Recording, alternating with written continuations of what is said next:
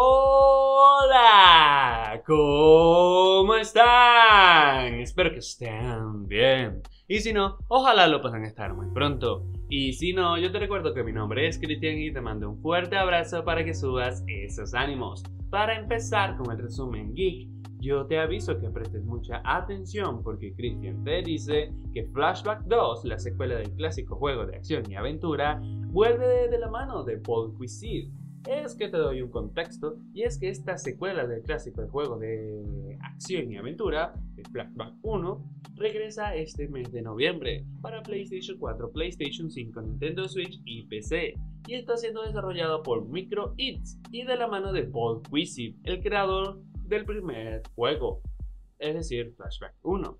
Continúa la aventura con el mismo personaje llamado Conrad Hart, un agente de la Galactic Boreum Investigation, que debe enfrentarse a la invasión de los Morphs y también rescatar a su mejor amigo secuestrado por los Morphs. El juego termina cerrando con una jugabilidad plataforma 2.5D, con elementos de acción, exploración y puzzle. Y es que el protagonista cuenta con una arma adaptativa que combate y evoluciona a lo largo de la aventura. El juego tiene 5 niveles ambientados en el universo del juego a lo largo de la aventura de ciencia ficción con toques de cyberpunk. Hay, unas ediciones físicas y digitales y tendría un steelbook y una banda sonora digital por 49,9 euros, más el juego obviamente. Y aquellos que quieran gastar un poco más, por 149 euros, te pueden llevar el juego, te pueden llevar una figura de Conrad y tres litografías, también una insignia, dos hojas de pegatina y el flashback 1 original en la versión digital por ese precio para aquellos que les interese. Pero continuando con más, y es que seguimos con Embracer Group que confirma el despido de 900 empleados durante el pasado trimestre.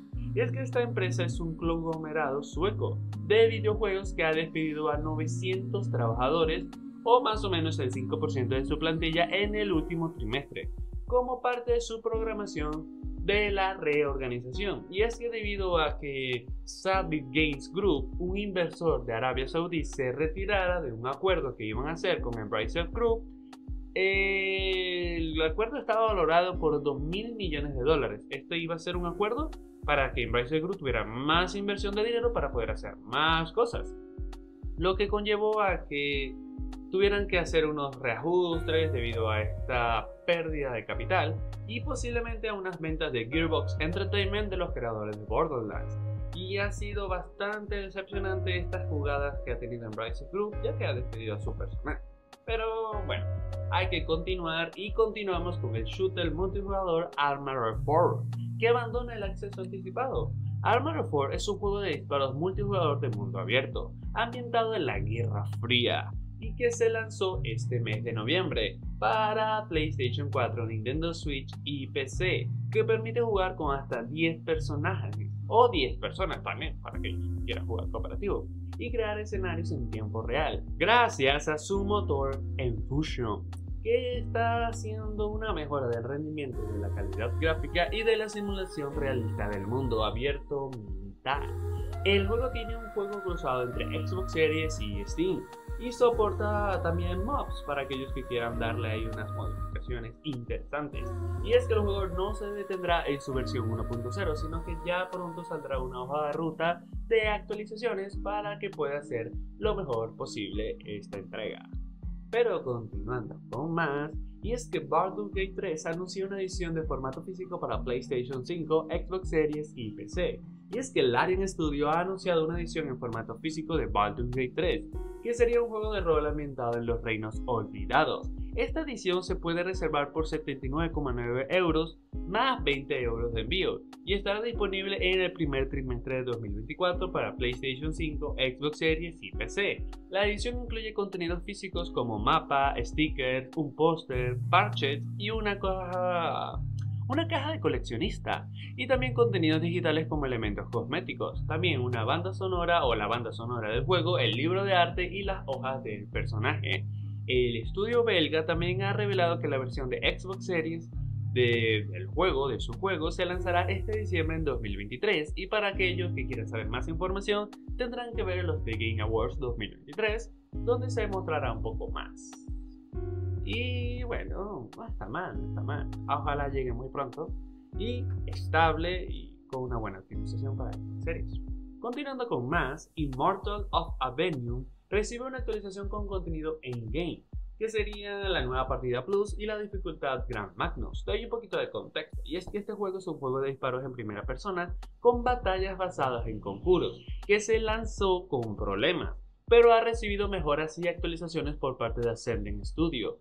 Algo muy importante y es que la última actualización se llama Ecoleccionista o Ecoleccionista y añade un nuevo reto en game un nuevo modo de Partada Plus y tendrás un 50% de descuento en todas las plataformas. El juego o esta nueva actualización es de forma gratuita, lo vas a poder probar y uh, tratar de cumplir el reto, ya que es eliminar los templos de los anicos, que son fragmentos de la senda, una esfera de conciencia que se ha debilitado por la guerra perpetua. El ecolepsionista es un antiguo ser aristayano que se está que está así por detrás de los templos, viendo todo. El juego no ha vendido muy bien y por eso Ascending Studio ha tratado de despedir la mitad de su plantilla y ha recurrido a estas actualizaciones gratuitas para que los jugadores inviertan en su juego. Así que bueno, hay que ir viendo cómo va evolucionando este juego. Pero continuando con más y pasando a algo más tecnológico, Apple anuncia que el iPhone añadirá soporte para el estándar de mensajería RCS en 2024. Apple adoptará el estándar RCS en la compañía, ya que se anunció en 2024 que incorporará el Universal Profile, que es un estándar de mensajería que usa la mayoría de dispositivos Android. Esto mejorará la interoperabilidad entre iPhone y Android permitiendo enviar mensajes con más funciones que el CMS o el MMS normal de toda la vida. iMessaging seguirá siendo exclusivo de Apple. El cambio no significa que iMessaging se abra a otras plataformas, sino que RCS reemplazará los CMS y los MS. Pero iMessaging seguirá siendo la mejor y la más segura opción para los usuarios de Apple en enviar mensajes de este tipo. Claro, la función de RCS junto a iMessaging no la sustituirá de todo, o sea, simplemente van a ajustarse para que puedan ser más compatibles y tener más funciones, pero iMessaging seguirá siendo casi igual prácticamente. Continuando con más, y es que los usuarios de Windows podrán desinstalar las aplicaciones como Bing y Edge gracias a esta nueva actualización. Y es que Microsoft ha comunicado en su blog oficial que los usuarios de Windows 11 y Windows 10 se adaptarán a la ley de mercados digitales, que entrará en vigor en el espacio económico europeo en 2024.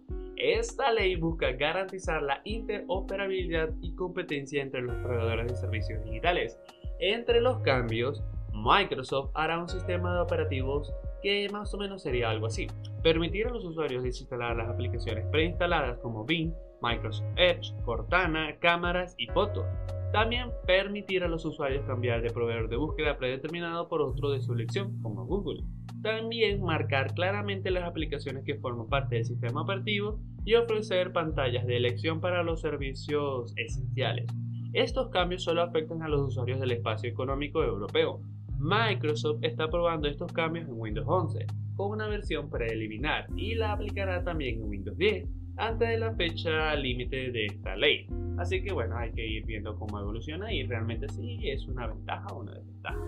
Pero continuando con más, y es que Atari 2600 Plus, una recreación moderna de la consola compatible con los cartuchos originales, llega y es bastante interesante. Y es que el Atari 2600 Plus es una nueva consola que recrea la clásica de Atari 2600 de 1980 pero con mejoras modernas, como por ejemplo salida HDMI, alimentación USB y ranura para cartuchos retrocompatibles con los juegos originales de 2600 o el Atari 2600 y el Atari 7800. La consola se vende por 119,9 euros e incluye un mando joystick o joystick CX40 Plus y un cartucho de 10 en U juegos de 8 bits, o sea, un cartucho de 10 juegos en uno, en un solo cartucho, con juegos de 8 bits de la época. También se puede comprar accesorios para la consola y también podrás tener juegos adicionales como el SX30 Paddle, el controller, el Berserker Engine Edition y Mr. Ram en Jam. Atari planea lanzar más juegos de 2024 para esta consola Y es que Atari busca revivir la marca y preservar el legado de los juegos de su iniciativa, ya que Atari fue una de las pioneras en el mundo, en el mundo de los videojuegos. Claro, luego hizo unas estrategias muy locas y bueno, se arruinó, pero esos son otros detalles. Continuando y cerrando al menos el video del día de hoy, un nuevo detalle de Final Fantasy VII Rebirth. Y es que en este video te puedo explicar que Final Fantasy VII Rebirth es la continuación o la continuación fidedigna de Final Fantasy VII Remake. Un juego que recrea y expande la historia del clásico Final Fantasy VII. Te voy a dar un poquito más de contexto porque seguramente no vas a entender nada.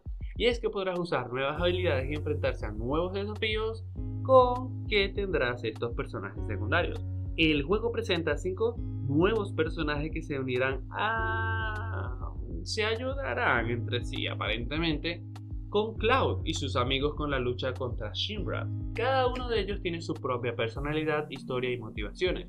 Todo hay un poquito de contexto y es que las habilidades sincronizadas son uno de los poderes más interesantes, ya que los puedes combinar y tratar de realizar con diferentes personajes que tengan una buena relación o una buena relación. Para activarlos hay que llenar un medidor de afinidad que se incrementa al luchar juntos.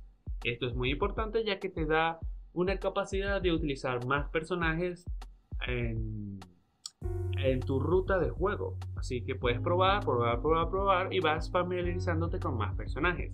Hay algo que hay que destacar y es que las invocaciones en el juego se incluirá a Kujuta, una invocación de cuatro cuernos que puede usar los cuatro elementos, fuego, hielo, rayo y tierra.